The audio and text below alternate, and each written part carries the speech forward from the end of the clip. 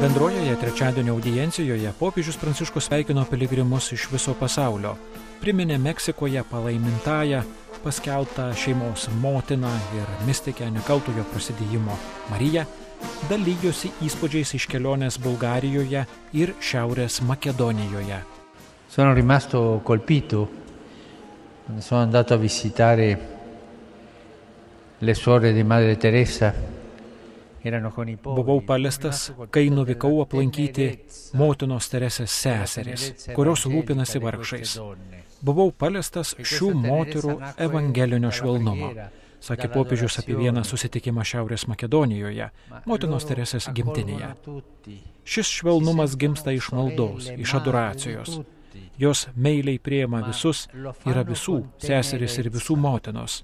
Daug kartų mes, krikščionis, pametame šį švelnumo matmenį, o kai jo nėra, tampame pernelyg rimti, rūkštus.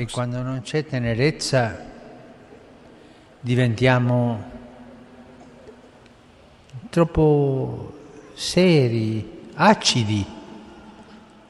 Queste suore Šios seserys yra meilios savo švelnume, jų rūpestis artimo yra toks, koks yra, ir priešingai kai artimo rūpinamasi be švelnumo, be meilės.